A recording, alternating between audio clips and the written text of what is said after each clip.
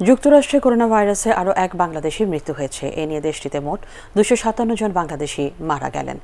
ধীরে ধীরে নিউ ইয়র্কে কমছে করোনায় আক্রান্ত ও মৃতের সংখ্যা। এদিকে যুক্তরাষ্ট্রে আটকে পড়া দুশো বিয়াল্লিশ জন বাংলাদেশিকে নিয়ে ঢাকার উদ্দেশ্যে রওনা দিয়েছে একটি বিশেষ ফ্লাইট।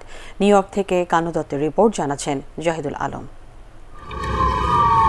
যুক্তরাষ্ট্রের সবশেষ চব্বিশ ঘন্টায় করোনা ভাইরাসে আক্রান্ত হয়ে আরও এক বাংলাদেশি নারীর মৃত্যু হয়েছে। এ নিয়ে দেশটিতে মোট দুশো সাতান্ন জন বাংলাদেশের মৃত্যু হল। এরই মধ্যে যুক্তরাষ্ট্রে করোনায় আক্রান্তের সংখ্যা সাড়ে আঠারো লাখ ছাড়িয়েছে। সেই সাথে মারা গেছে আটাশি হাজারেরও বেশি মানুষ। এদিকে যুক্তরাষ্ট্রে আটকে পড়া দুশো বিয়াল্লিশ জন বাংলাদেশিকে নিয়ে ঢাকার উদ্দেশ্যে রওনা দিয়েছে একটি বিশেষ ফ্লাইট।